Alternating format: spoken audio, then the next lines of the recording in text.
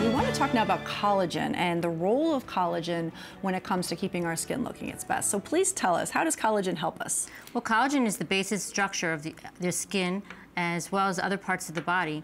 Um, we don't want to have any type of damage in, this, uh, in the collagen.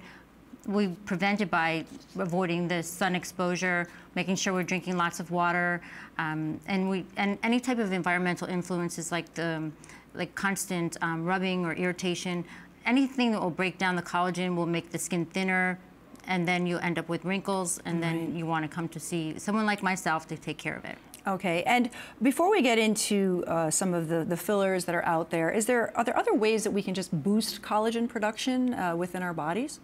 Yes, we can boost the collagen um, by eating healthy.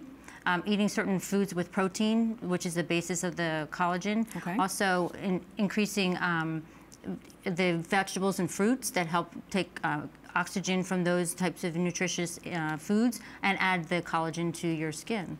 Okay, that's good to know. And is there any type of form of collagen that would be considered best? Or again, you mentioned some of the things we can find in our diet, but is there a, a better form of collagen than others?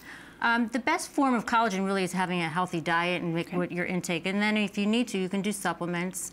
Um, the problem with the collagen uh, it's a large molecule and it doesn't really penetrate the skin. So you want to find products that are going to actually penetrate the skin with like serums and um, if you're going to do some type of um, treatment where it, it, abrades the skin so then the collagen can be stimulated by the um, products that way.